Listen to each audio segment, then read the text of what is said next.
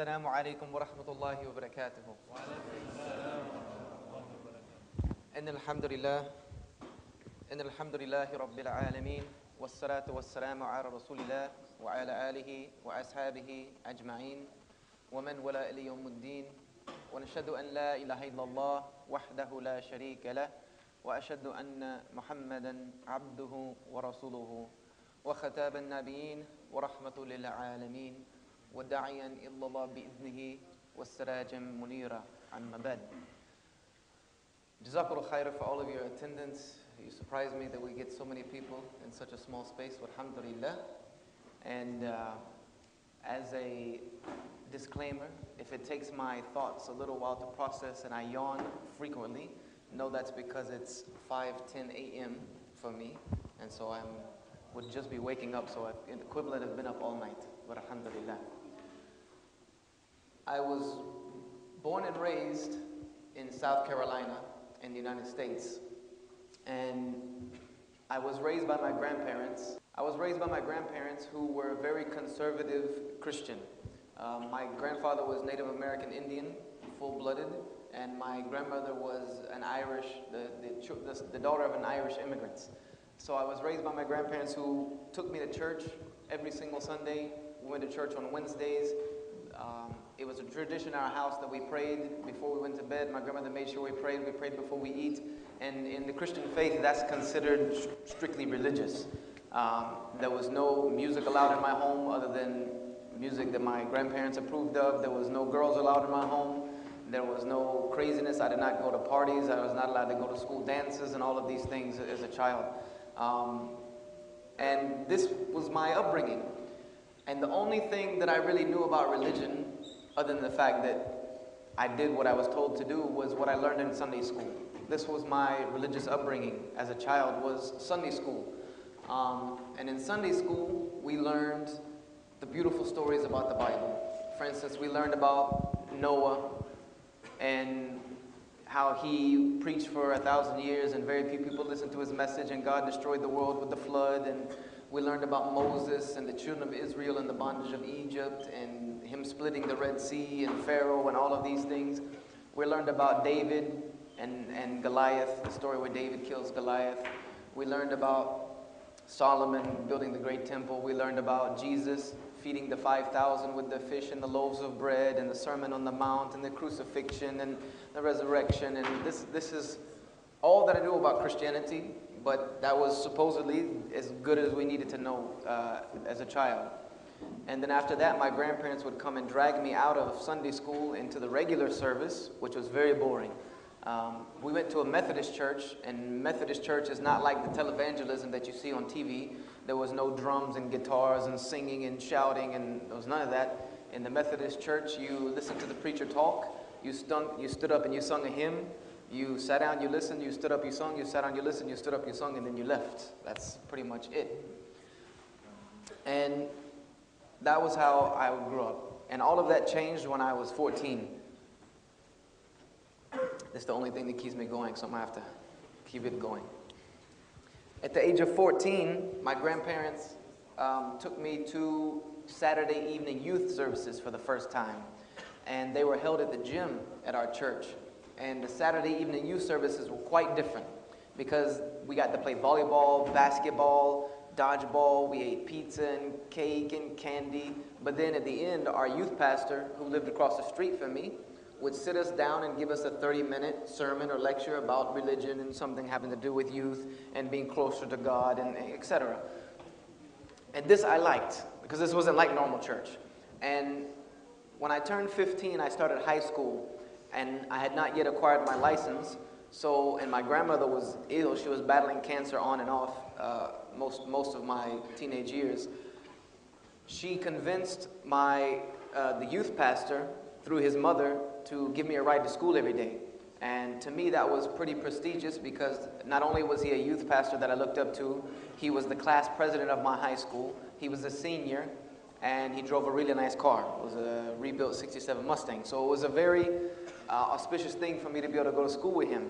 So we became friends, needless to say, even though he was three uh, years prior ahead of me and he was four grades ahead of me. But he started to take me to other uh, youth Christian fellowship services throughout the upstate of South Carolina, what is known as the Piedmont area of North Carolina, and the, the northern uh, east corner of Georgia. And it was called Young Life, Young Life Fellowship Ministries. He started to take me to these meetings, and these meetings were more like what you see on TV. There was guitars and, and drums, and there was singing and shouting, and people speaking in languages that I couldn't even understand, and people falling on the floor, and it was all this kind of, you know, uh, and, and, and the preaching was not like our pastor who just sat and read from the Bible. The preaching was screaming and yelling and in your face, and it was entertainment at its best. Um, and I would say that at this point in my life, I began to become Christian out of choice. And I fell in love with my religion, and I gained an emotional attachment to my faith, which is what kept me for as long as it did keep me was this emotional attachment. And I keep that out just as a side note. I wanted to mention emotional attachment just as a side note that a lot of people ask me um, doing dawah workshops and things of that nature, how is it that people can have a faith that we look at it and see it as so backwards, but yet they can look at it and draw logic out of it at the same time? And that is because of that emotional attachment that I just mentioned. Uh, people can become emotionally attached to something and not see the realities of it or not see the negative effects of it, even though they may be blatant to everyone else. And that happens. That's why people are, are able to, to live these crazy lifestyles. That's why a drug addict doesn't see the damage that they are doing to themselves and their family, or an alcoholic, because of their emotional attachment uh, to their wrong. Uh, this is why a lot of marriages end up in divorce. And even now, this is becoming rampant in the Muslim community because relationships begin on infatuations, which is a heavy emotional attachment to someone. And then what happens when you get married and the emotional attachment wears off, you realize that you really don't like each other anymore and you get divorced. And this is starting to happen in the Muslim community because a lot of marriages are beginning on a basis that's not correct. You have men and women now, boys and girls, starting to gain emotional attachments to each other improperly, which we know is by the shaitan. And then they get married, and shaitan loves to break up marriages, so he removes himself from the situation. The emotional infatuation goes away, and then the marriage falls apart. This is a lesson for our youth. But when those two people get married according to the Quran and the Sunnah, based on the pleasure of Allah subhanahu wa ta'ala, then they, Allah creates love and affection between them and those marriages last. But that's, that's a whole other issue. Let's keep going with the story before I get off on a tangent. But I emotionally attached myself to Christianity at this time. And my friend Benjamin graduated, and I went on to be a sophomore, and he started to attend a Bible college in my hometown, which is very famous in the United States, and it is somewhat world famous amongst learned conservative Christians. Uh, it's called Bob Jones University. It's like a neo ultra conservative Christian uh, biblical college in Greenville, South Carolina. And his field of study, other than theology and all of these other things, his focus was on textual criticism.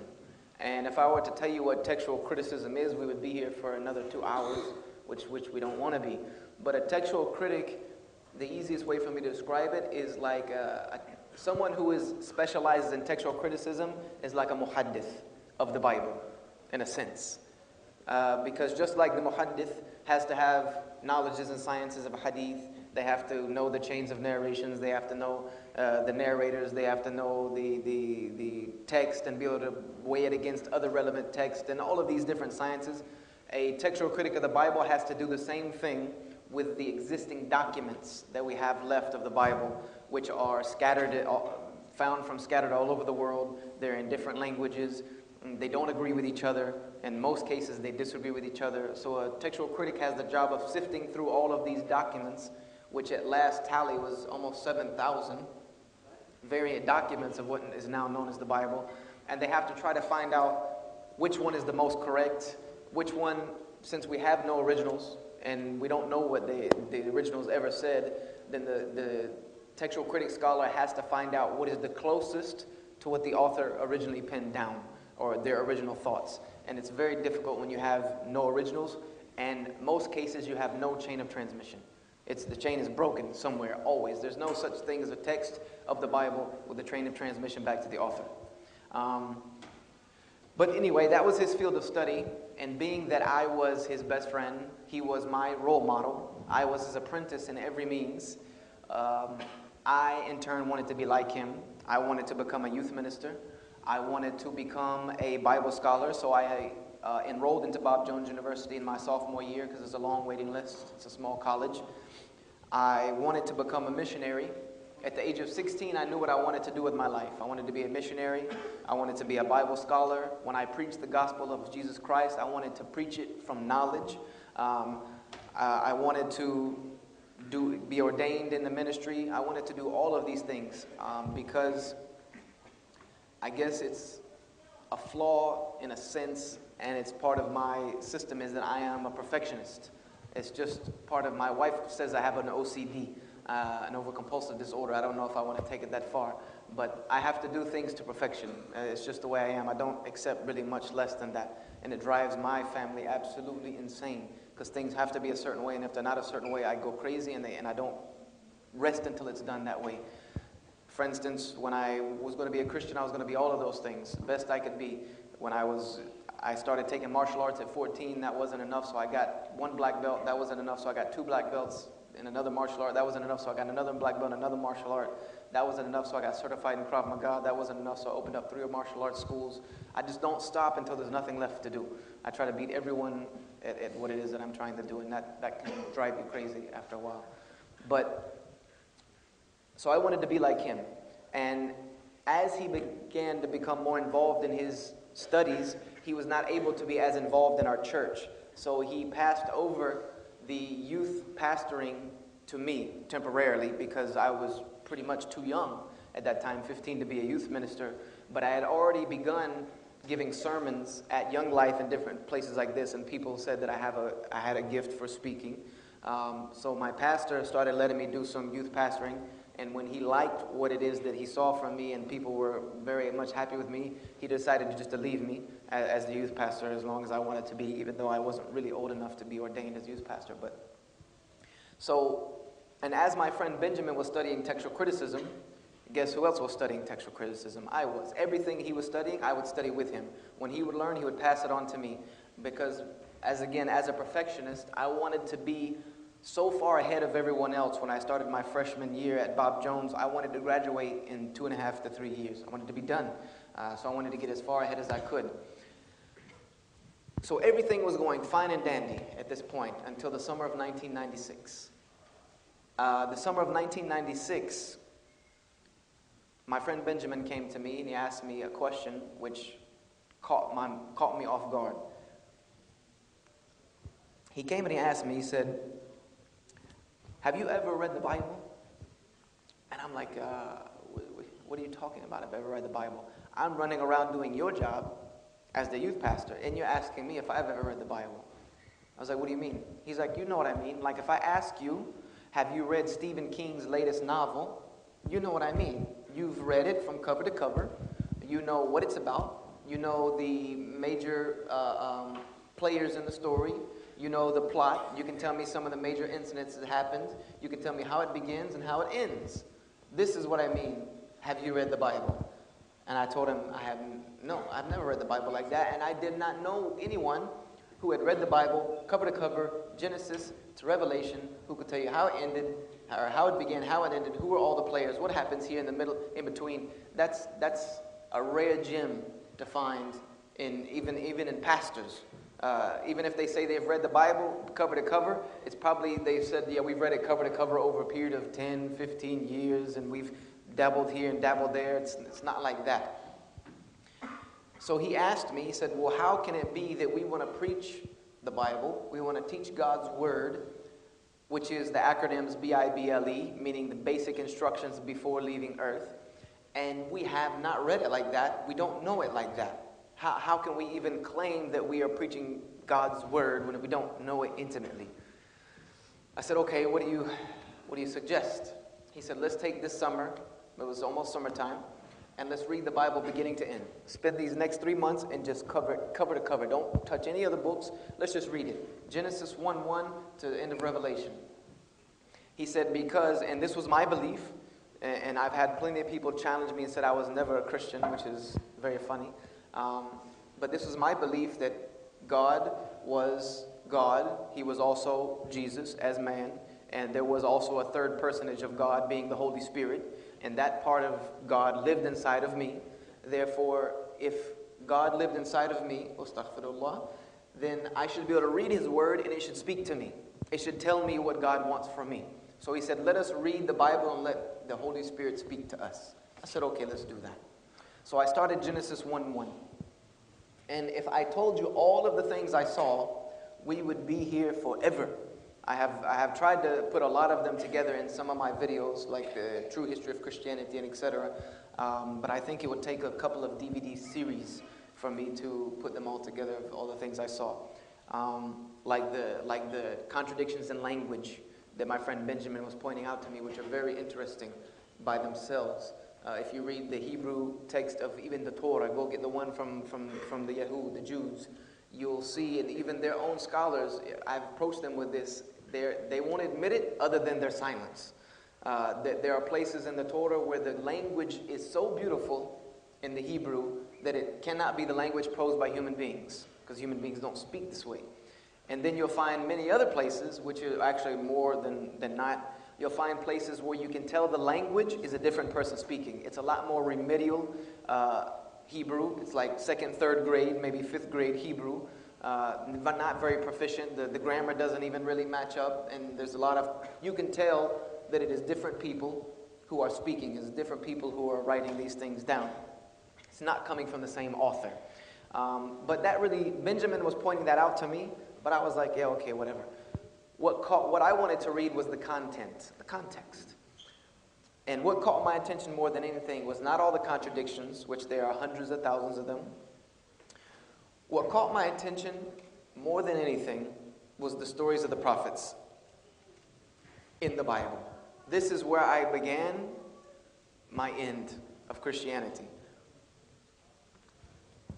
For instance, I start in Genesis with the story of Noah, alayhi salam. Noah. In the Bible, it says Noah preached for a thousand years. Not very many people listened to him, but he kept going. And then God finally got tired of all of the disobedience of him, because these were the first people ever to disobey uh, obey God were the people of Noah. We believe this as a Muslim as well. The first people to deviate were the people of Noah. So God decided to destroy the earth with a flood. He told Noah to build the ark, and we know the story. There's another story about Noah that's not so prestigious. Um, it says that after the flood, Noah learned that there was a, such a thing called alcohol. That if you let wines, or if you let grapes ferment, they make this wonderful drink that, that makes you intoxicated. And it says that Noah, and this is a direct quote from Genesis, Noah became so intoxicated with alcohol one day that he was passed out in his home naked. So apparently somebody saw this because Noah didn't write. He was passed out naked. Um, so apparently Noah was laid out in front of people, passed out naked in his home, intoxicated. Now, it nowhere refers to him as being an alcoholic in, in a sense, but when you deduce someone that drinks enough to be passed out in their home, but naked, they're an alcoholic. I don't care any way you try to put it around. This person is, is, has an issue with alcohol. Because I, I know a lot of alcoholics, and I've never seen one of them laying in their house naked. so Noah had an issue with alcohol. And so I caught myself and I said, wait a minute. God's prophet, God's prophet, that just kept hitting in my head, God's prophet. I thought they were the, you know, in my mind, God's prophets were the best human beings. There was no one like them. And this is the reason God chose them for this purpose, is that they led people to God's way by their, their speech and their actions. So I thought to myself, God's prophet passed out in his home drunk, naked.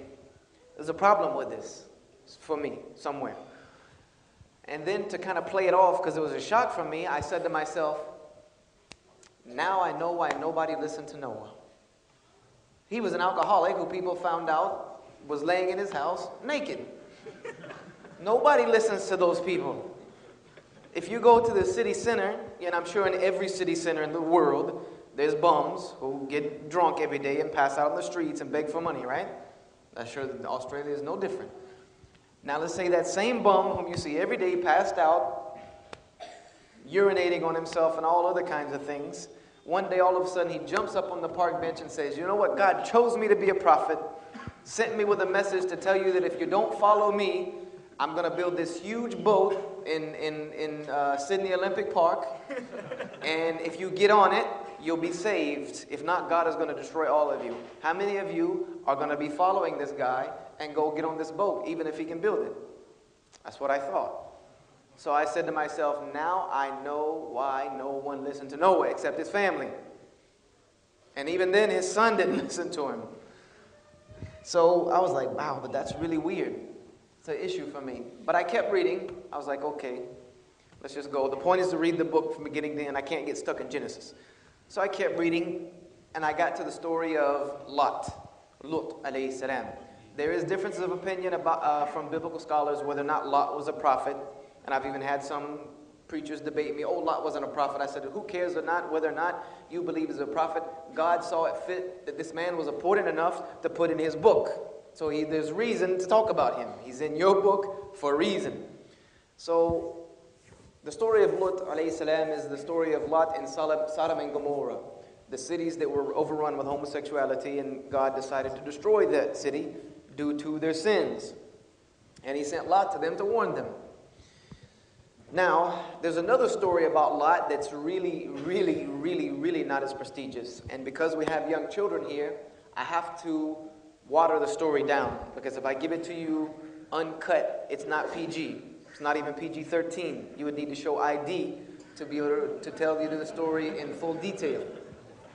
And, I'm just very serious. There are plenty of stories in the Bible that you need identification to prove you're of age. Um, and it would be in one of those little stores with the blacked out windows. I don't know if you have those over here. But the story is of Lot and his two daughters. Lot had two daughters and no sons. He had no one to pass on his lineage as, as a male child. And his daughters were worried about this because he was getting old. So his daughters decided to fix it, the problem. And the way they decided to fix the problem was the oldest daughter got Lot intoxicated. Here we go with the alcohol again. It seems like it's an overwhelming message in the Bible. Lot's daughter, oldest daughter, got Lot intoxicated one evening and then slept with him and became pregnant by him so that she could possibly have a son. And just to make sure that there was a 50 50 chance, the, the youngest daughter did the same thing the next night. And they both became pregnant by their father. So now I'm really have an issue because now we have two drunk prophets and one of them is sleeping with his daughters. so this is starting to become a bad theme to me.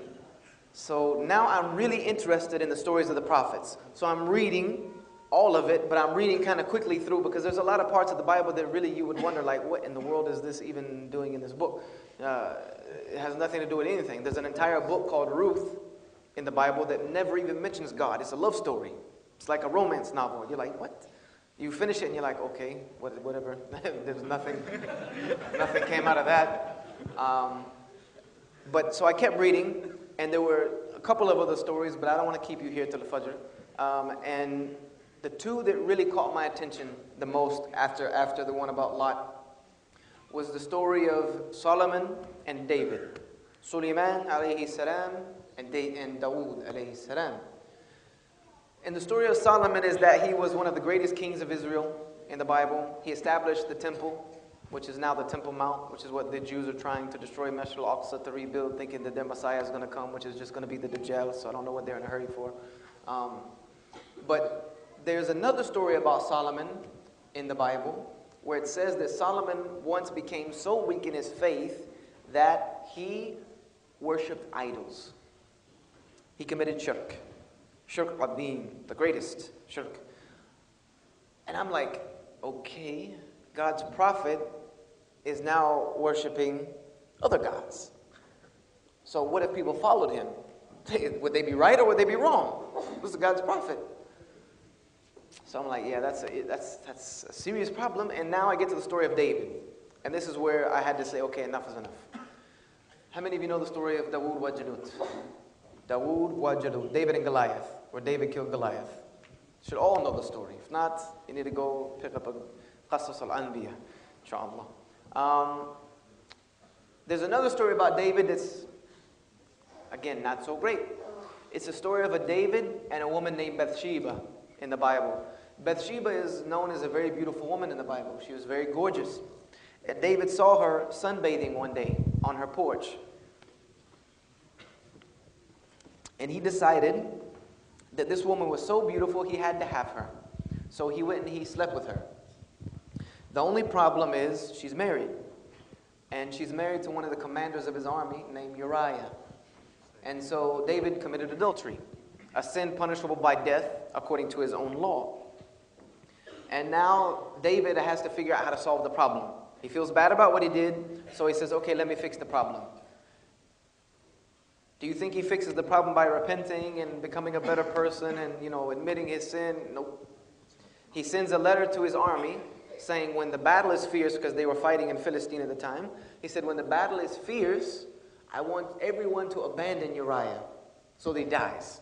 So they did that. Uriah was killed, and now David is able to have Bathsheba, and nobody can say a thing. So he committed adultery and then covered it up by committing murder or conspiracy to commit murder. So now I'm like, wait a minute. Enough is enough, man. You know, I mean, this is getting way out of control. I don't even want to go any farther than this. This is just seriously out of control. I thought God's prophets were the best human beings on earth. Now we have prophets who are alcoholics, passed out in their home naked. We have prophets who are sleeping with their daughters. We have prophets who are committing idolatry, committing adultery, and murder. These are like the first five capital sins. These are the first, breaking the first five commandments.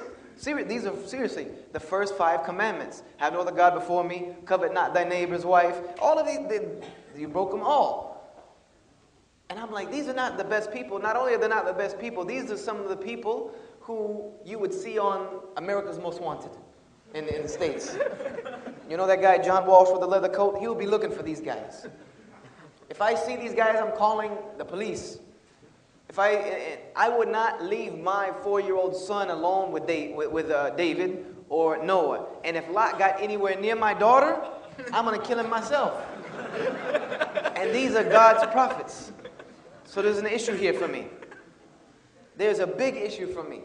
So I started to commit the biggest sin in Christianity. And Christians challenge this, but the ones who've left Christianity, they know I'm telling the truth. The biggest sin in Christianity was I started asking way too many questions.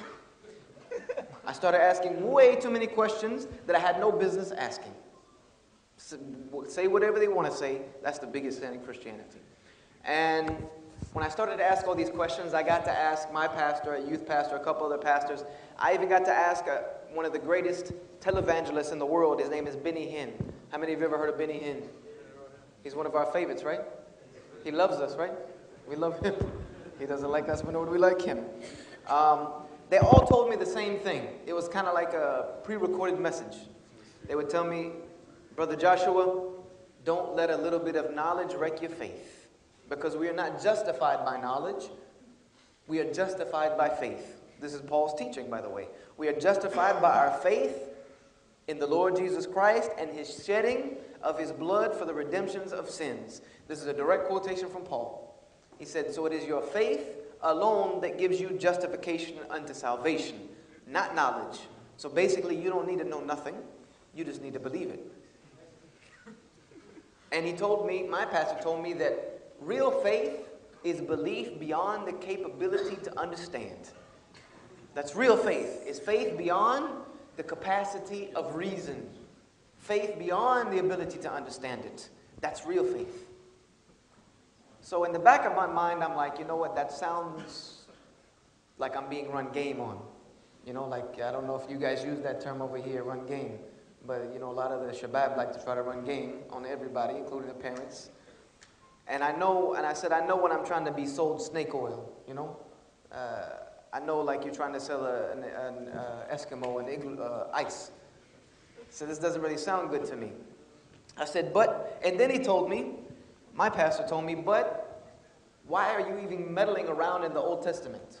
The Old Testament is the Old Covenant. It is for the children of Israel. It is their direct relationship and they had with God that is now passed over into the new covenant of Jesus Christ. Therefore, we have the New Testament. So, why don't you go read the New Testament? Why don't you read the life of Jesus Christ? And you will find something completely different. And then he tried to tell me about, you know, that the prophets were, um, they were prophets, yet they were human beings, so they had natural flaws, and they tried to show us how you could have natural flaws as a human being, yet still be used as God's vessel. Wasn't really buying it, but I didn't want to argue at that time because I didn't want to lose my faith. You have to understand that I had my whole life ahead of me.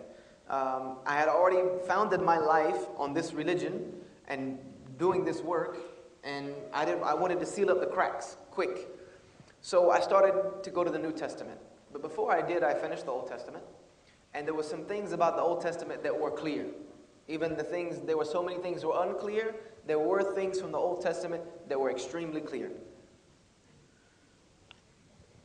And the number one thing that was clear from the Old Testament was that God was one. This was without a doubt. God was one. And the most unique of senses and there's so many verses that say, that speak of God's oneness in the Old Testament that it's not even, we don't have the capacity to relate them all in this time sitting. Like, for instance, Hear, O Israel, the Lord your God is one. Hear, O Israel, the Lord your, I am the Lord your God, and there is none else. Hear, O Israel, I am the Lord your God, and there is none like me. Hear, O Israel, the first commandment was what?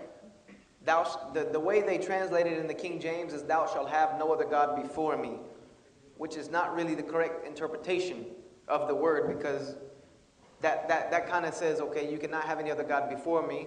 But I've had one person, I even had a, uh, um, a um, I even had a Hindu tell me, okay, yes, in the first commandment is you should have no other God before me, but God didn't say anything about beside me or behind me. so it's not really good translation.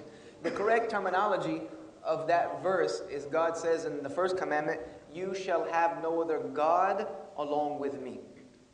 Or you should not have any other God that you make as an equal to me. Meaning, what God said in the first commandment was that you do not make anything as an equal with me. You do not give anything that which rightly belongs to me. Your worship is for me alone. Your sacrifices are to me alone. This is what is meant by this commandment. So this was very clear without a doubt. And number two, God was very jealous. He was extremely jealous. And the only time he would really flip out on the children of Israel was when they would worship something else other than him. That they would, he would flip out on them and, and, and make their lifestyle more and more and more strict.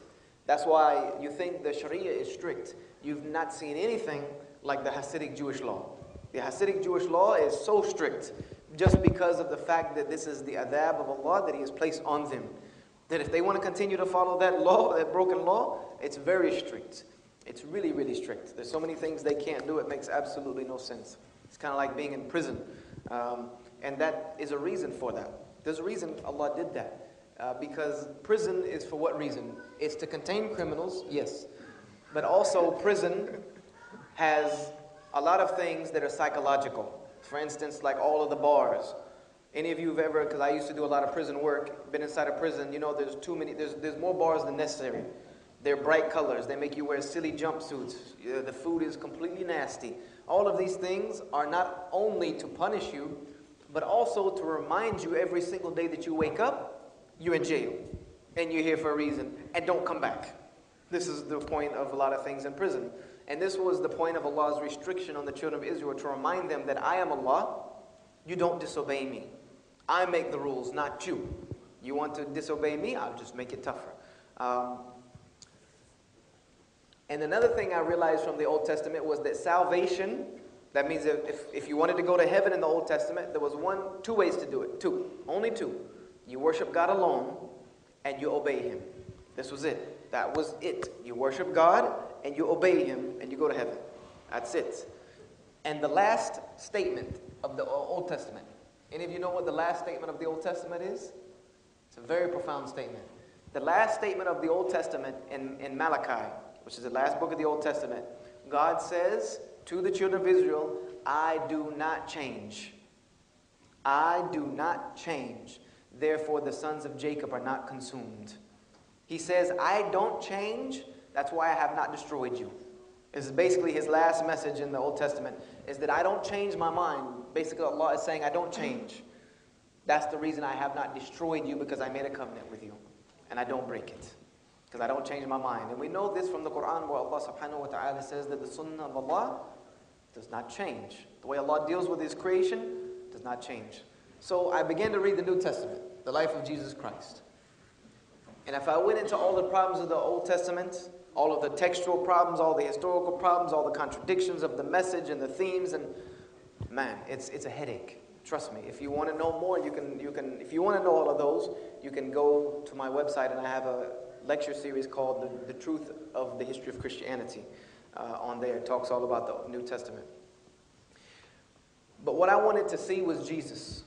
What was his message? Who was he? What did he teach? What did he preach? What was his life like? So I started to study Matthew, Mark, Luke, and John.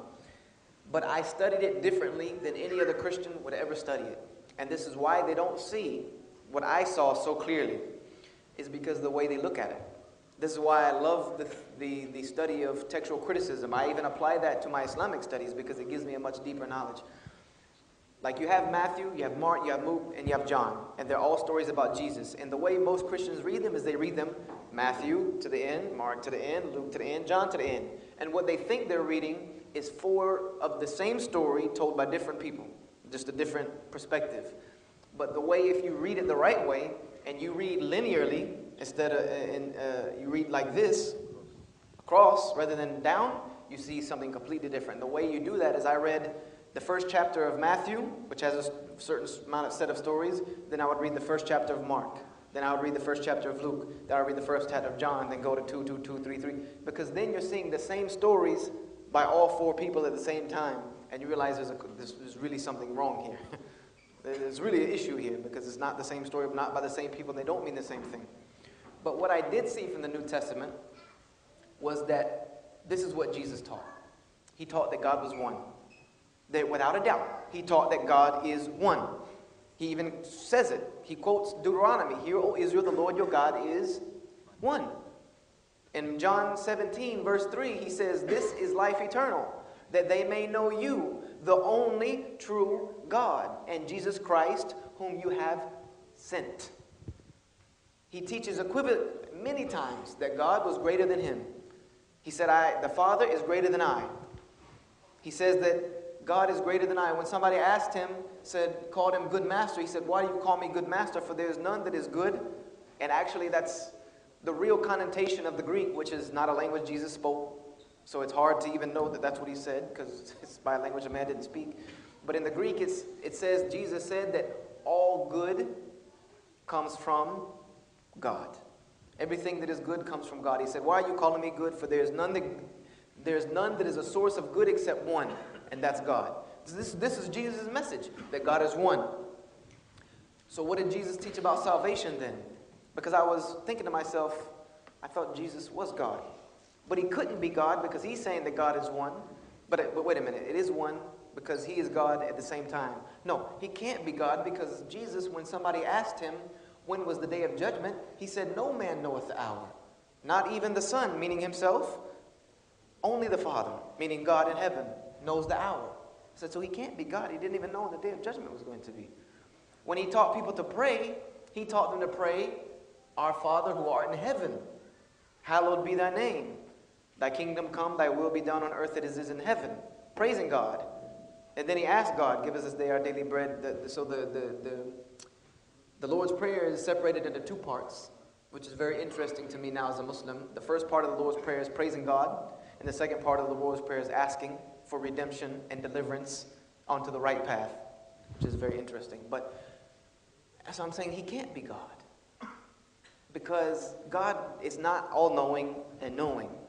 God is not someone who doesn't need anything, which is the God of the Old Testament. He needed nothing, and he needs things. The, God's nature and Jesus' nature are not one and the same. So I said, okay, well, then how do we go to heaven if Jesus is not God? Maybe he was just the Son of God. Maybe it was just God in the flesh. But then I read on, and a man once named, named Lazarus once came to Jesus, a rich man once came to Jesus, and he asked him, Oh, good master, how do I inherit eternal life? How do I go to heaven? How do I get salvation? Now, Jesus didn't reply saying, I'm going to die on the cross, resurrect myself on the third day, etc., etc., etc. He said, follow the commandments. He said, obey God. Obey God's law. And the man said, I've done that. I've done that. This is a lot of Christians, they misinterpret these things because of their emotional attachment, preconceived notions. He said, I've done that. And Jesus told him, He said, Okay, if you've done that, that means you're perfect. Then what you need to do is you need to go to your house, sell everything you have, and you need to come work for me. You need to come do what I'm doing. If you're so perfect, I need some help. You need to come work with me. And the man realized at that point he was not perfect in God's eyes, so he left crying. But this was Jesus' message to the man keep the commandments, follow God's law. You want to go to heaven? Follow God's law. I'm like, what happened to the crucifixion? And I'm start so I start looking for anywhere Jesus says that he's going to die on a cross on the third day and be resurrection for the sins of humanity in that language. And what I find out is it's not there. The only places you can find that is in, uh, um, what is the word I'm looking for? Implicit terminology, meaning he said something that you can take to mean that if you already think that's what it means.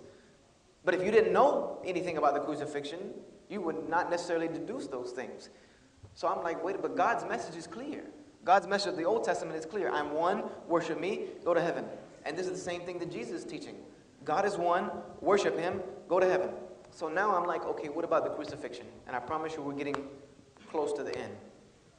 So I'm like, I have to now find out what the crucifixion is all about because it's in all four books of the New Testament. What is it about? Why did they try to crucify Jesus? Why was the crucifixion even necessary if Jesus is teaching that salvation lied in following the law? And Jesus is saying that he is a fulfillment of the law. He didn't come to abolish it, but to fulfill it. And he told people to follow the law. But yet, as a Christian, we don't follow the law. We, we are told by Paul that the law is cursed. Paul writes that the law is not a way to salvation. And here's Jesus saying the law is salvation. I'm, I'm confused, I'm conflicted. Jesus is saying the law leads you to salvation, and Paul is saying that the law was only our schoolmaster to lead us to Christ.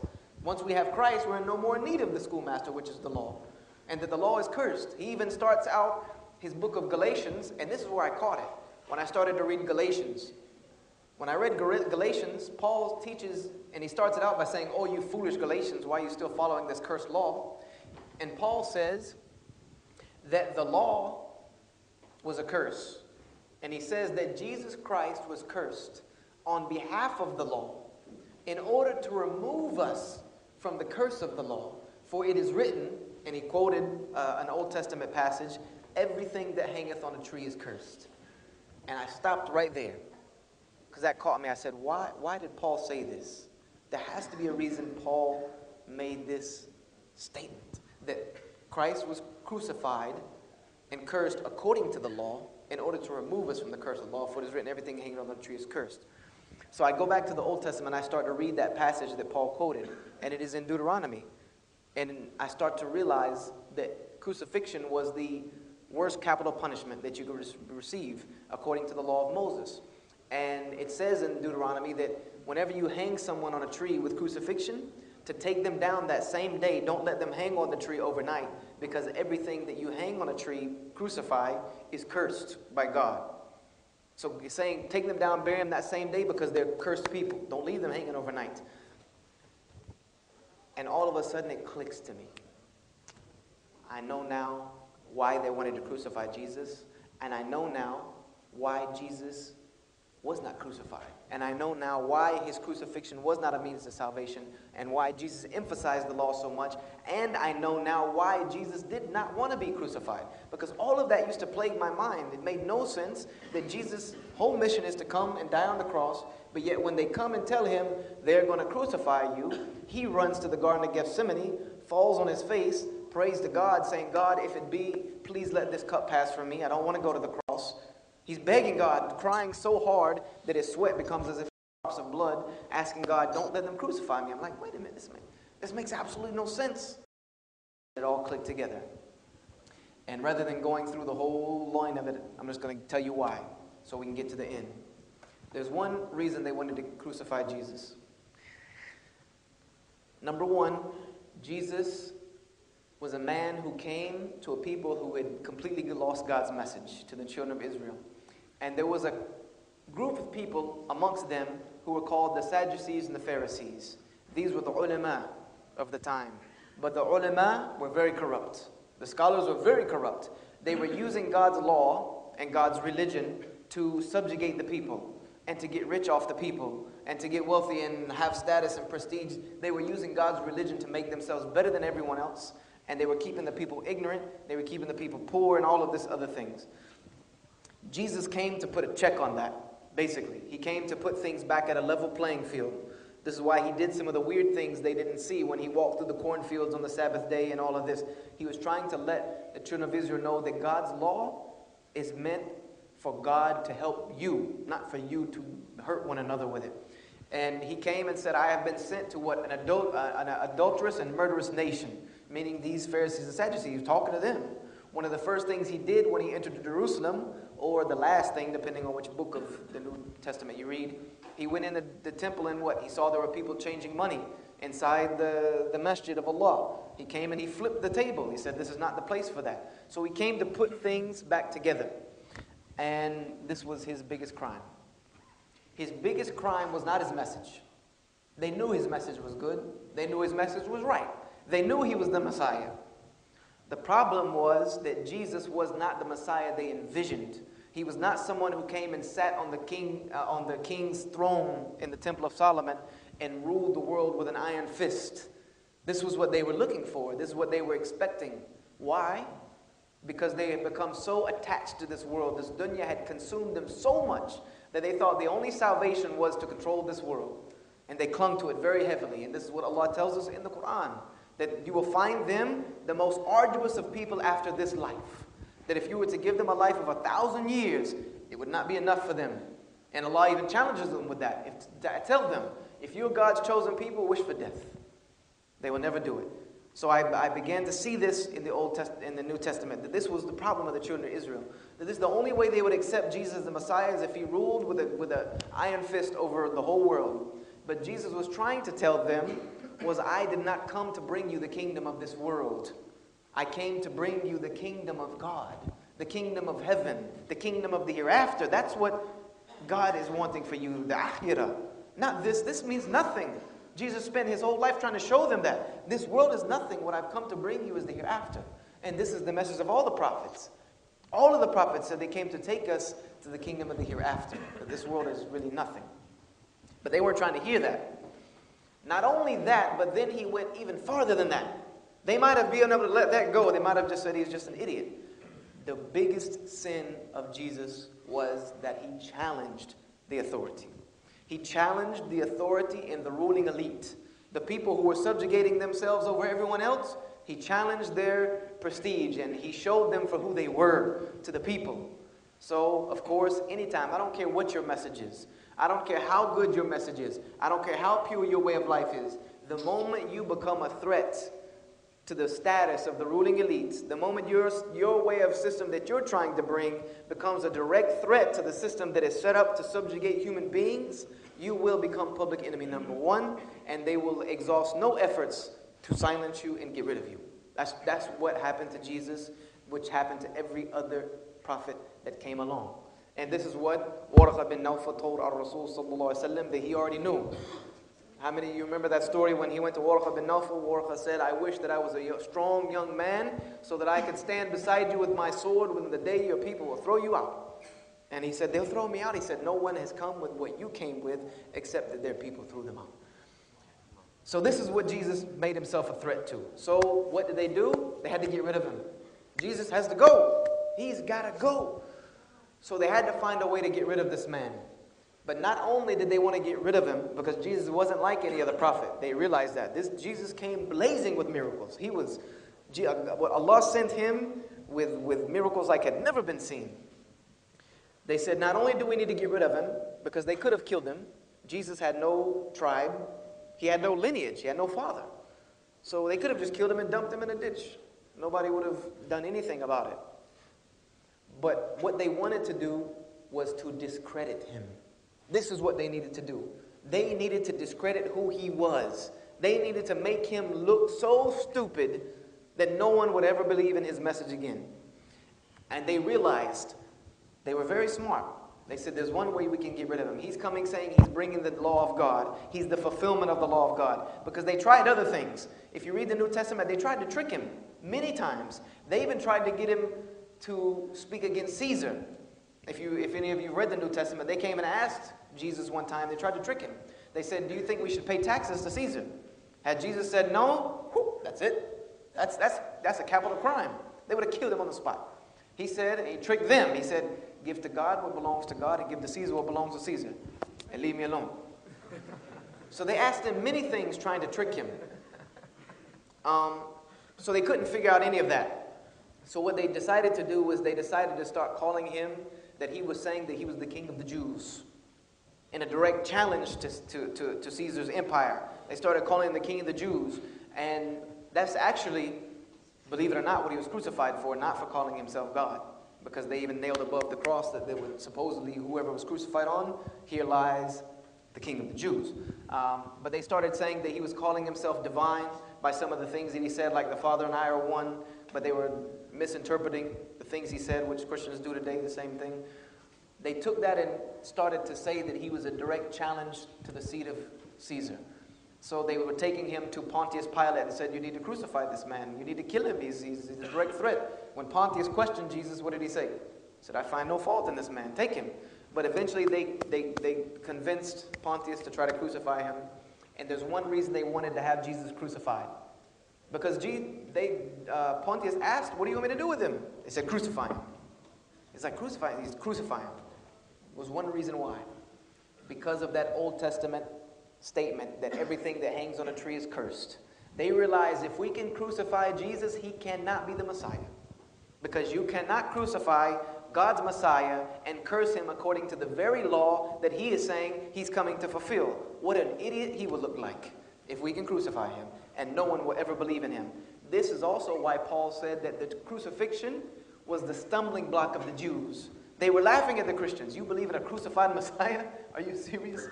There's no such thing as a crucified Messiah. It can't happen. They knew this. So this is why they wanted to crucify him.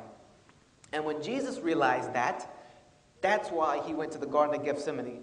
That's why he fell on his face and prayed to Allah so hard, saying, Ya Allah, do not let them crucify me. Because he understood if they crucify me, they'll never believe in me. I've, I've, I've wasted my mission. All this work is for nothing if they crucify me. And we know that Allah subhanahu wa ta'ala answered this. I realize this now as a Muslim.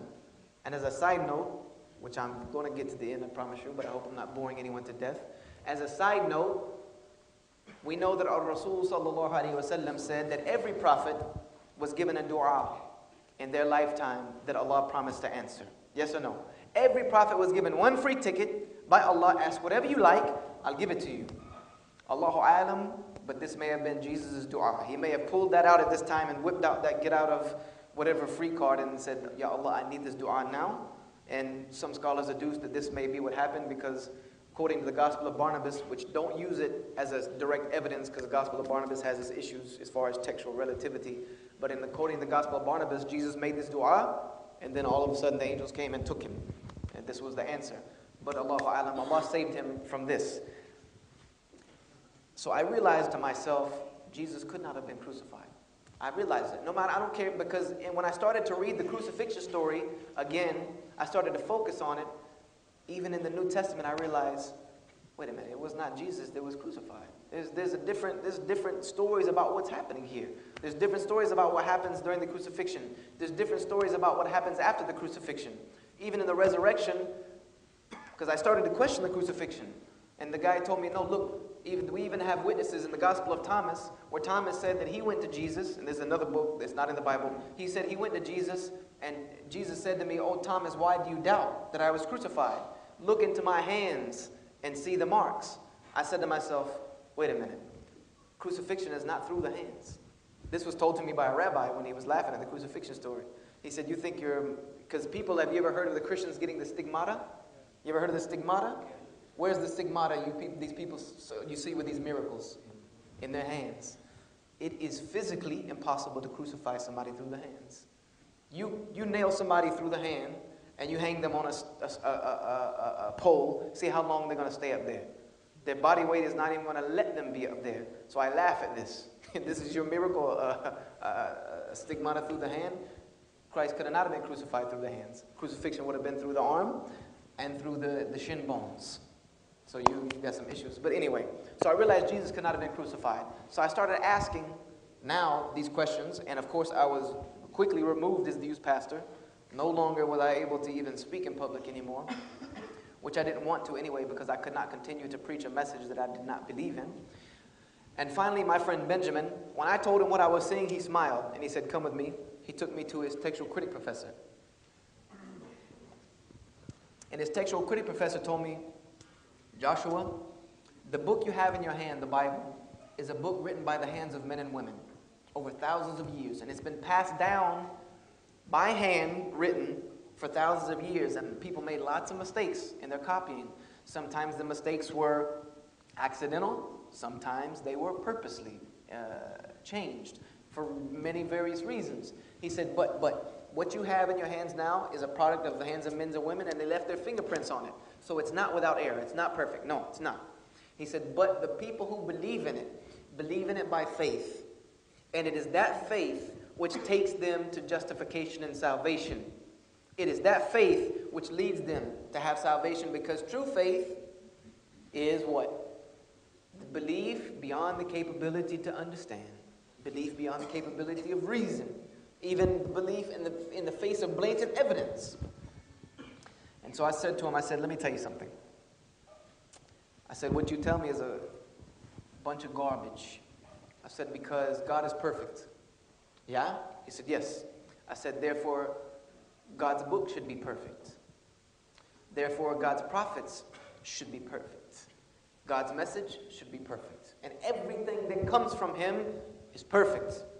His universe that He created is perfect. You're telling me God is perfect, the world He created is perfect, the system He set up is perfect, the human being that He developed is perfect, but now all of a sudden, when it comes to His message, to human beings to live their life, now all of a sudden it's completely imperfect. His prophets are worse than more people I've ever met in my entire life. His book is rubbish, it has no authority, no whatsoever. The religion is so stupid that the only way you can believe in it is if you turn off your logic that God gave you as a sense to understand the world around you, and that's the only way I can be saved.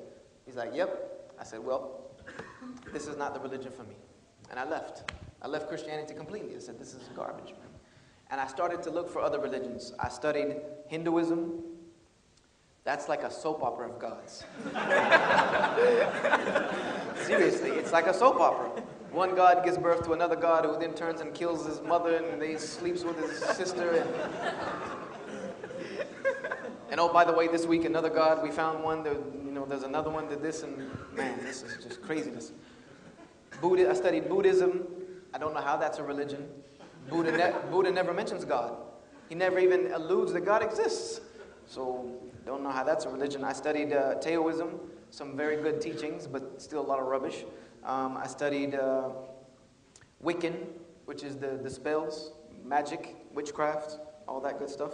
I studied um, uh, uh, um, Bushido, which is the samurai code of conduct. Very good code of conduct, except for the whole falling on your sword thing. Not really down for that.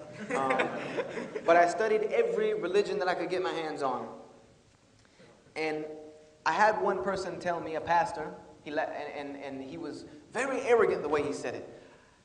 You just proved yourself a liar telling me that you studied the world's major religions in less than a year and a half. You're such an idiot. I said, You're right, I'm such an idiot that I would take a glass of dirty water, which is the world's religions, and I would drink a sip of it, realize how dirty it is. Oh, but let me keep drinking it until I finish the whole glass and hope that the last sip is good water. that would be the idiot. That's the world religions. When I took one sip and saw how dirty it was, I spit it out and I put the cup down. That's what I did. When I studied the religion far enough to realize it's garbage, it's garbage. Why do I, what, what, what, what digging in the, if you go in the dumpster and realize it's only garbage, what, what are you going to find at the bottom? More garbage. So I left it alone. So, and I also read a book about Islam. I got a book from the public library uh, about Islam. I don't remember the name of it. but it said that Muslims, M O S L E M, which is a very derogatory word, it means someone who oppresses someone else, coming from the word dhulim, Muslim, Muslim. Uh, means one who commits dhulim, which is oppression or wrong or harm or evil. It's a very slight of the tongue. It said that Muslims worship a moon god called Allah who lives in a box in the desert of Saudi Arabia, and that all, all Muslims were Arabs, and they had many wives, and they beat them all day long, and that the greatest deed of a Muslim was to kill a non Muslim at any time, at any place, without discretion, and then they would get virgins when they went to heaven.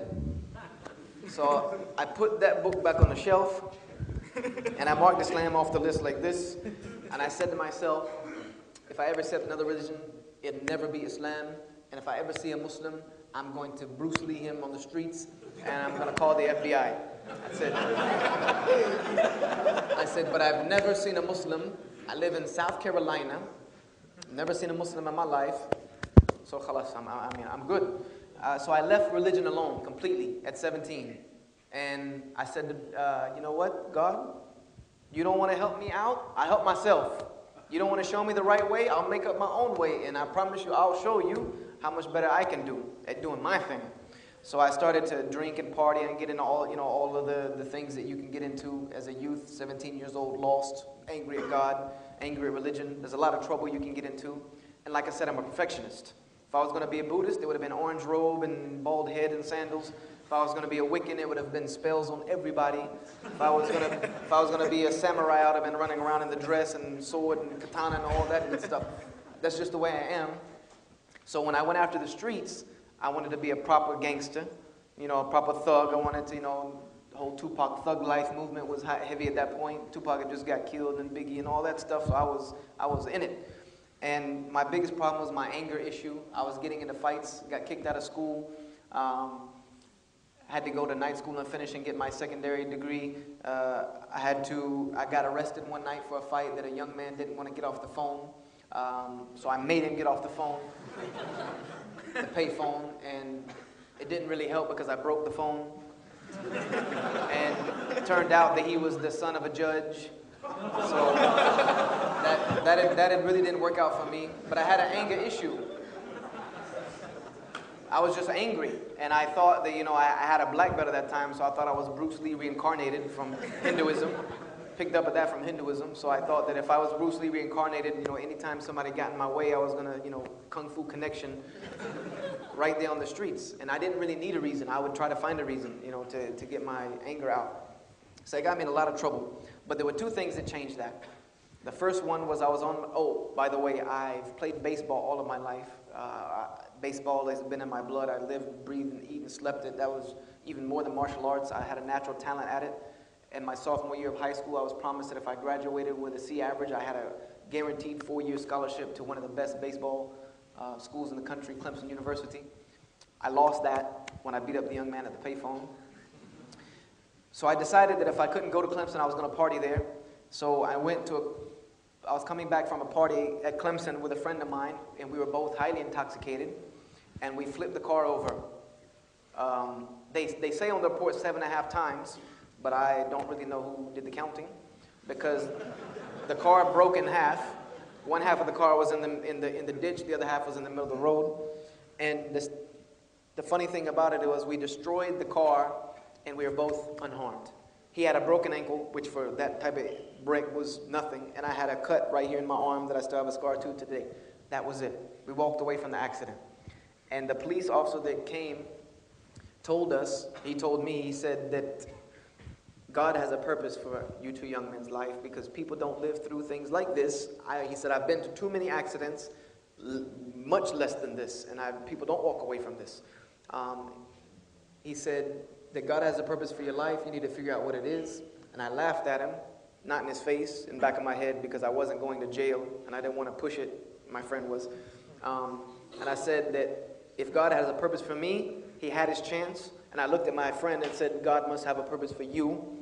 That must be why we're both here, so I appreciate it. And a couple months, like a month or two after that, a few weeks, I didn't learn my lesson, so I decided to go to New York City with my friend. My dad was living in New York at the time. So I went to New York, And me and this friend were in, at the hotel, and I said I need to go to the ATM. So I went to the ATM to take some money out of my grandmother's account uh, because she spoiled me way too much. And in New York, the, the ATMs are in glass rooms. I don't know if you guys have that over here, but you slide your card, Eh, eh, in the, and then you go into the ATM, and it locks behind you with little magnets, so that nobody, you know, only one person goes in. It's private. But thieves are pretty, pretty intelligent, are pretty ingenuous. Uh, eh, they're, they're pretty ingenious. They would stick rocks at the corner of the door so that when the door closes, the magnets don't really touch, but it looks like the door is closed. And then you go in, you take out your money, a guy comes behind you with a gun or a knife. What are you going to do? You're stuck in a glass room with a guy with a gun. You're going to give up the money. So I pulled out my money, I turned around, there was a guy with a gun in my face, directly in my face. And it was a revolver. I'll never forget it to this day. I don't know what kind of revolver it was, but when it's in your face, it looks like one of those dirty, hairy, you know, long ones like in Batman, you know, where you had to pull it out like this. That's what it looked like in my face, like a cannon. And he must have really needed this money. I'll never forget his face. I'll never forget the gun, what it looks like. But he looked me directly in the eyes. He didn't say a word to me. He didn't say, put your hands up. He didn't say, give me the money. He looked in my face and he pulled the trigger. And I remember that distinct to this day, how the revolver makes this distinct turning noise and then this click, this, this sound. I can hear it to this day like it happened 10 minutes ago. And the gun didn't go off in my face. And you can tell at that time, both of our eyes got big. My eyes got big because I didn't, he didn't blow my head off. His eyes got big because he didn't blow my head off. And we're both looking at each other like this. And neither one of us know what to do because you, when stuff like that happens, you, you enter what is called fight or flight syndrome. Your body just dumps adrenaline inside of you, and one or two things happen. It either freezes you and immobilizes you, or you can use that adrenaline for something. Like you've ever heard about mothers picking up cars with their babies. Uh, that, that can happen physically. When that adrenaline dumps in you like that, you can do the craziest things. So we're both stuck like that. And all of a sudden I realize in my head, wait a minute. If you don't go, this guy's going to kill you. You, don't, you, you, you, you know, it's like a little guy running around in my head, like ringing a bell, like, are you an idiot? You know what I mean? like, if you don't move, it's not going to happen twice. So I, I bum rushed him and I tackled him, and the gun went flying, he went flying, the money went flying, and then I jumped and I went flying. And I told my friend, we have to go. So I went back, drove back to South Carolina that night, 18 hours.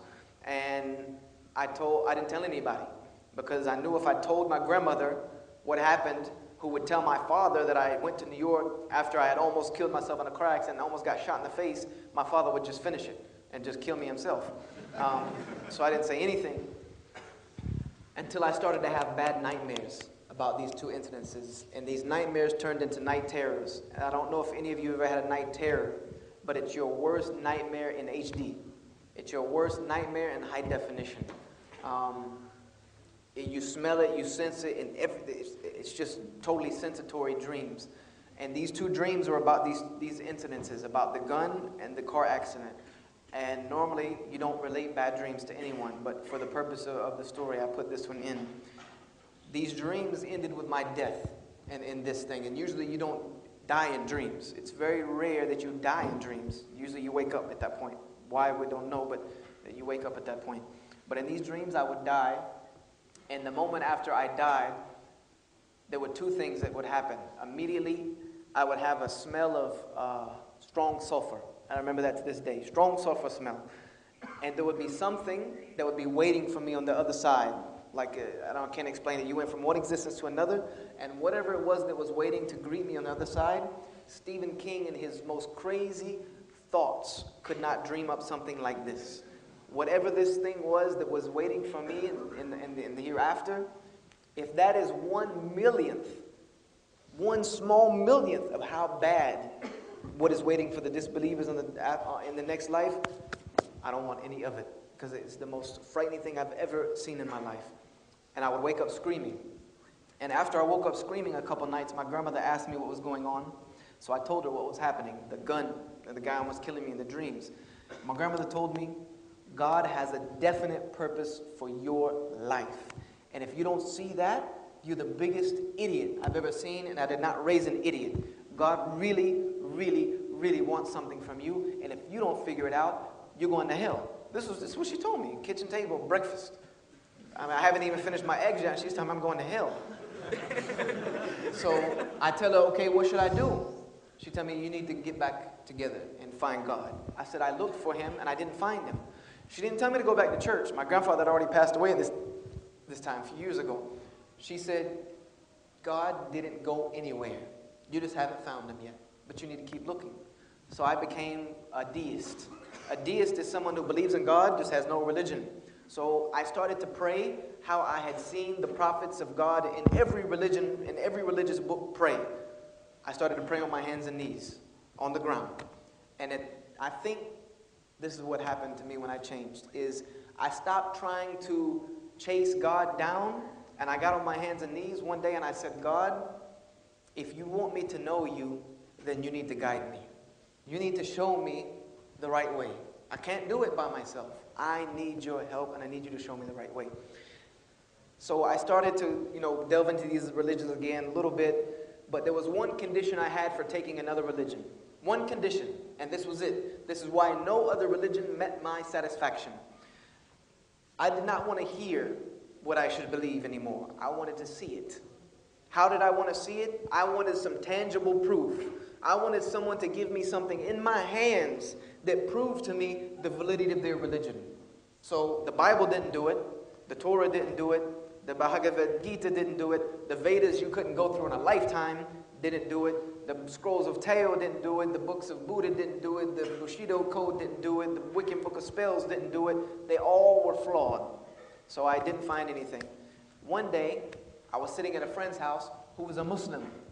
I didn't know. I knew him for, for, for a couple years and I never knew he was a Muslim. We were at his house and talking about religion. And my friend and me were debating about religion, and we and I didn't know this guy was a Muslim for two reasons. Number one, he was an African American, and I didn't I thought Muslims were Arabs. And number two, I didn't know that Muslims, along with their worshiping their moon god in the box and killing non-Muslims and beating their wives, I didn't know they could sell drugs. That's what this guy did as a profession. He sold marijuana for a living. And so I was at his house. Me and another friend were debating about religion. And he walked in the room. His name was Blunt, but he, his, his, his name was Musa, but we called him Blunt. He was from New York. And I should have known it because he was always talking about getting that Arab money and dealing with the Arabs in New York and things like that. Anyway, he came in the room and he said, Have you ever heard about Islam? I'm like, Yeah, man, I heard all about Islam. he was like, Well, I'm a Muslim. I was like, I was like, I knew you were a comedian, dude, but you need to do stand up with that act. he was like, and I was like, wait, but really, you should not really run around telling. I, we cool, I know you like that, but you don't, should not be telling anybody like that. You know what I mean? You have the FBI all up in this place. You already got enough drugs here to go to jail forever. Now you want to run telling me you're Muslim? He was like, no, no, seriously, I'm a Muslim. I'm like, you're black, man. You know what I mean? He was like, you think I don't know that? I was like, you can't be a Muslim, they're Arabs. He's like, what, what, you talking about? So I told him what I knew about Islam. He was like, man, what in the world? Whatever you read, this is the biggest garbage I've ever seen. He said, Islam is the complete opposite of that. So I told him, I was like, all right, tell me about Islam. He said, I can't because I'm not the best Muslim. So I can't. He said, I barely pray five times a day like I'm supposed to. I, I, I, I don't do the best that I should. He said, but I do know where you can go to find out about Islam. I was like, where? He's like, come with me on Friday to the mosque for Juma. I'm like, okay, the only thing I understood out of that sentence was Friday. that's, that's it. Something on Friday.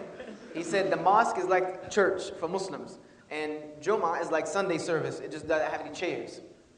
I'm like, cool, church with no chairs. That's good. That's the worst part about church was those benches. So I said, okay, how are we going to get to the mosque? Because Neither, I'm not driving that far because my thoughts were the mosque had to be oof, somewhere in another state. I'd never seen one. He was like, it's on Wade Hampton Boulevard. I was like, man, now I know you're kidding because I live off Wade Hampton Boulevard. There's no mosques. There's no mosque in Greenville. I've been all over this city. He said, yes, you know where Lee Road intersects Wade Hampton? I was like, all right, now really quit the jokes. I live on Lee Road. There's no mosque, dude. He's like, no, you know that missionary training facility on the corner? I said, Look here, buddy. I used to take missionary classes to become a missionary, to probably go to Muslim countries and convert Muslims. Um, I used to take missionary courses there. There's no mosque there, man, let me tell you. He said, You know that brick building in the same parking lot as the church with the gold thing on top? I'm like, Yeah, the gym. He's like, Nope, that's the mosque. so I, I'm like, Oh my God. Not surprised, like, wow. I was like, Oh my God, these crazy Muslims live in the end of my road. they live at the end of my street. And I didn't know. So I said, Okay, I'll meet you there on Friday. Uh, so I went home and told my grandmother, Did you know these crazy Muslims live at the end of the road? And she's like, Yeah, they don't bother anybody. And I'm like, Well, I'm going there on Friday for the prayer. She's like, Okay, just be careful. so I went on Friday, but I didn't just walk up in the mosque. Uh, you think I'm an idiot? You know what I mean? I have some street smarts. I have a little bit of street education. I, I know better. I see there's only one way to get in this building. I'm not going in it because that's the only way to get out. I'm, I'm going to sit on the church steps and watch. I want to see who goes into this, this thing, this mosque. Guess who goes in? Arabs, Arabs, Arabs. Maybe some Pakistanis, but at that time you all look the same to me. so there's nobody, there's a few Africans, but they weren't African Americans, they were real deal Africans. So I'm looking and there's not one single American into this building. So what do I say to myself? Check. Number one, all Muslims are Arabs, except for maybe a few Africans. And I start paging Musa, because he's not here. I start paging Blunt, and he's not, because cell phones weren't a big thing back then. So I start paging him and he's not responding to me. I'm like, why is this dude not here? You know what I mean? He's the one that invited me and he's not here. And then all of a sudden some guy pulls up in front of me. He gets out, short, with a thobe on. And he's like, can I help you? And he was very soft-spoken, very short, maybe five foot two, five foot three. I said, yeah, Musa invited me to come watch your prayer services. And he's like, yeah, we know Musa. He just doesn't really come here that much. He said, but come in and I'll take care of you, this and that. He was very nice. I thought he seemed a little too excited to get me in the building, but I did not see anybody go in the building that I didn't think I couldn't handle two or three of them. Um, so I went in. I didn't see any, it was all men that went in. I, little did I know the women came from the other side. I went in, they gave me a chair at the back of the masjid. I'm sitting on this chair like this. There's this big group of Arabs in front of me. And, all, and there's this curtain that's right here behind me and there's women talking back there. I can hear them chitter chattering. I'm like, what are the women doing back there how'd they get back there? I said, why are they behind the curtain? I said, it's probably because of all the bruises. And they probably like live in the, the basement or something. You know, the men just come and pick them like flowers and take them home and beat them and bring them back. So I'm sitting here looking at this and I'm like, man, this is the craziest thing I've ever seen. You know, and at that point, I have kids, as you can tell. My, my, my spider sense started going off. How many of you know who Spider Man is? When Spider Man's around danger, he has this tingling sensation. Yeah, I started tingling right then. And I thought to myself, you've been set up before. Because I've been set up to get jumped on. When you beat a lot, when you fight a lot of people, somebody's going to get you back. And I thought, you know, it kind of felt like this. You had the same feeling that night, and you were right. And I started thinking, why is Musa not here? And then I started thinking about all the times he talked about doing these shady deals with Arabs and getting that Arab money. And I said, this guy, Musa, works for these Arabs to bring Americans to the mosque for Friday so they can do their jihad after Juma and get their virgins. I said, I'm like, I've been set up. I have been set up. I am the sacrificial lamb here today. That's why they got me sitting at the back in this chair. Why did why they sent me so far away from the door? The door's way over there. There's no way for me to get out. So I start thinking to myself, how many old Arab men I can knock out to get on the way out. I start thinking to myself, should you go through the curtain? You know, but then I'm like, there's too many women back there, and I already know with good sense you don't deal with a mob of women. And then I thought maybe that's where they keep the swords and the weapons. so I might not want to go back there. And then all of a sudden the imam gets up on the, the stairs. He gets up on these steps.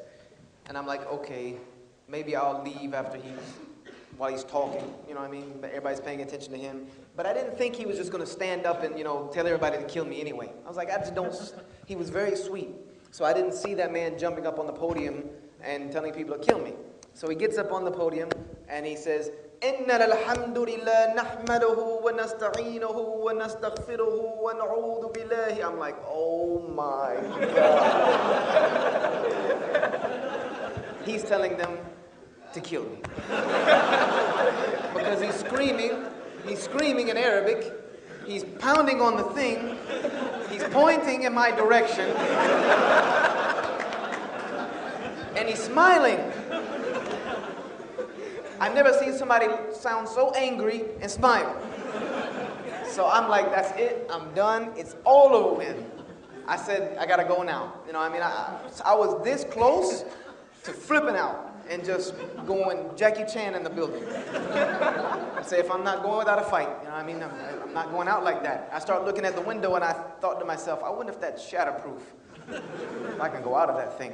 So I start freaking out. I'm flipping right now. I'm like, man, I gotta get out of here. Seriously, I, I do not want to die today. So he stops screaming in Arabic and he starts translating what he says. All praise belongs to God, the creator of all that exists. We praise him, we seek his help, we ask for his forgiveness, we seek refuge with the creator from this evil that lies around. You know the translation. So we started doing that translation, and I thought to myself, wow, you know, it caught my attention. It really, it caught me. I was like, that's what he said? Uh, you know, I'd never heard anybody say it like that. I didn't know you had to scream and smile to say it. Um, so he, I listened to the whole sermon in English. And the khutbah was that the forgiveness of Allah is open to anyone at any time, at any place, without discretion, no matter what you've done. And the only way you cannot be forgiven is three. He said the only way you cannot be forgiven by God is if your soul has reached the throat, meaning that death has come to you, if you have worshipped something else other than the Creator knowingly, or three, if the sun has risen from the west meaning the, day of, the, the last days have started and it's over. I didn't understand the last one till now, but and he quoted a long hadith of Prophet Muhammad sallallahu wasallam and Angel Jibreel. I don't, I'm not going to narrate the hadith because you've already been here long enough, but it's a story about where uh, Rasul met Angel Jibreel, and Angel Jibreel told him to tell the Muslims that Allah has told them that if they steal, that Allah would forgive them. So he would go tell the Muslims that Allah said, if you steal, He'll forgive you. So they would ask our Rasul, okay, what about this other sin? What about this other sin? So he would keep having to go back to Jibreel and ask him, okay, what about this other sin? Jibreel would go to Allah, come back and say, okay, tell him he'll forgive him of that too. Till finally, Jibreel came and went back and he said, look, tell the Muslims that Allah has said this. That tell them that Allah has said no matter what they have done, no matter how great the amount of sins they have committed, as long as they have not associated a partner with Allah, He will forgive all of it. And I was like, wow. I I never, ever, ever heard something like this. And that the, the, the way to become forgiven was to just repent. Go to Allah, turn back to Him, repent, seek forgiveness from Him, and do not do the actions again, and Allah will forgive it all. He is, he is the most forgiving, the most merciful. So I said to myself, wow, you really, really did a very bad thing by writing these people off of that one book. We're going to let them change the tape.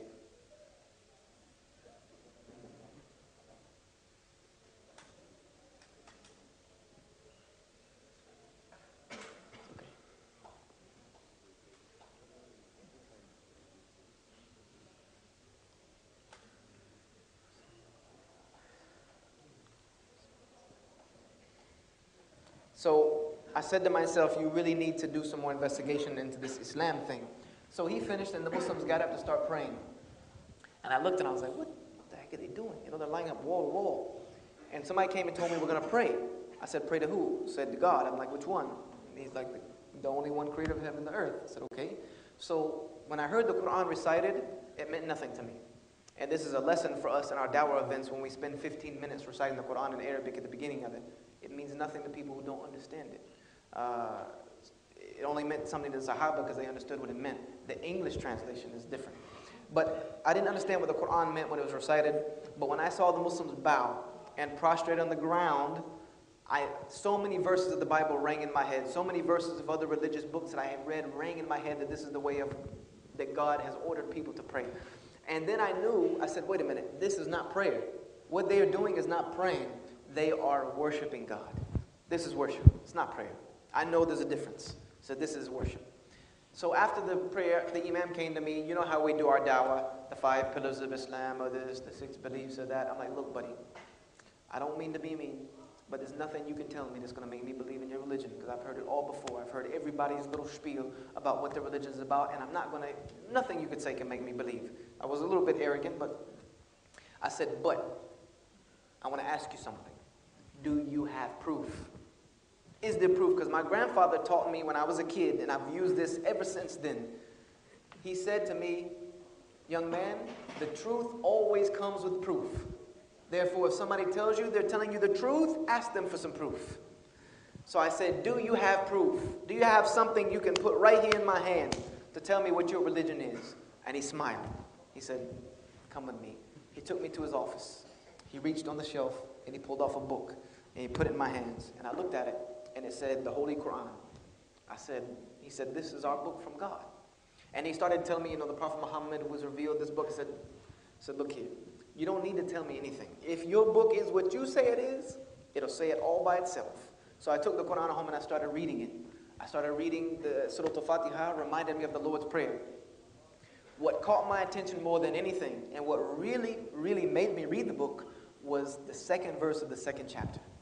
The second verse of the second chapter told me that this is the book that has no doubt in it, no discrepancies, no, because I was reading the Noble with the little commentary, no discrepancies, no contradictions, no distortions, and it is a guidance for those who fear God. I was like, Are you serious? Really? You think so? That was a challenge to me because I found doubt in every book. I found contradictions in every book. I found discrepancies in every book. I said, I'll find it in this book. So the reason I read the Quran initially was to find fault with it. So I started reading him, Surah Al-Baqarah, Surah Al-Imran, Surah Al-Nisa, and I started to notice names like Abraham, Noah, Lot, Moses, David, Zechariah, John the Baptist, Jesus. All of these names I started to read, but there was a difference. The stories in this book were of people who were at the highest level of morality. They not only preached the message, they lived the message. They were the most perfect human beings to walk the face of the planet. They were people who you could look at and emulate them to live a life pleasing to God. And the only thing I could say to myself was, these are prophets. These are God's prophets. And then I kept saying in the book that if you're in doubt about this revelation, then find contradiction in it. If you're in doubt about it, then make something like it. And I'm saying to myself, wow, this is, this is heavy. This is the heaviest stuff I've ever seen in any book. And I'm starting to see over and over. And finally, I could not put the book down. When I read the, the nativity story of how Jesus was born and Jesus' life, there were three chapters of the Quran, Surah to Ali Imran, Surah to Isra, and Surah to Maryam, that answered every question I ever had about Jesus. By the time I put the book down, Sunday, three days, I was addicted to this book. By the time I turned chapter 114 of the Quran, I was it was late at night in my room at home, and I remember I was, I was in tears because the only thing I could say to myself was, This is the book that has no doubt in it, and is indeed is a guidance for those who fear God. And I said to myself, that day I want to be a Muslim. I don't care what these people are. I don't care any. I don't know anything else about them except this book. If they follow this book, then I want to be like them. So on Monday I went back to the masjid. It was locked. So I found the imam. Somebody took me to his house. And I told the Imam, I want to be a Muslim. And he was shocked. He was like, What? I said, Yep, this book is what you say it is. It is what you say it is. That's enough for me. He said, So you believe there's only one God and He's the only one that should be worshipped? I said, I've always believed that. I've just never seen it like this. He said, But the, I have to tell you a little bit about Muhammad. Because the second part, وسلم, the second part of the Shahada is to believe in Muhammad. I said, Those only, I said, There's only one thing you need to tell me about Muhammad. He said, What? I said, Did he give us this book? He said, Yes. I said, Then he's a prophet. This is his evidence. I said, Because God is perfect, this book is perfect. Therefore, whoever it came through, they're perfect. So I said, Muhammad Rasulullah. So that day, so that day, December of 1998, I accepted Islam. I said that this is it, this is my way of life. And I know I've kept you forever, um, but I want to spend five minutes telling you why I tell my story. Because if I do it just for entertainment, then wallahi, I, I, could have stayed at home. I could have saved myself 15 hours on a plane. Seriously, you could have put it on the screen and watched it on YouTube. It's probably better than live. The reason I tell my story is because I don't want to see anyone else struggle for the truth the way I had to struggle for the truth. I don't want to see anyone else have to go through what I went through. And there are so many people in the world that are where I was in 1998. They're lost and they want to know the right way, but they want to know it with truth and proof and evidence. And there's so many people in Australia like that. I know, and I've never been here. There's so many people in Sydney just like that. I know, and I've never been here. There's so many people in your neighborhood just like that. And I know that, that are lost and they want to know the truth. So, what are we doing? We are the ones that have it. Why are the people having to chase us down?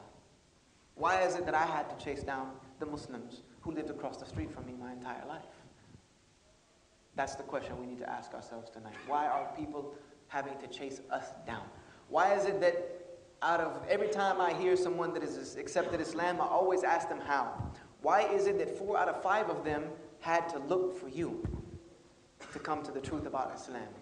This is the real thing we need to question ourselves about. That we are allowing these people that we should be concerned about, that Allah gave us as an amana, this deen of al Islam, and He has entrusted us with these people who are ignorant about Allah and about this deen because they are a trust for us.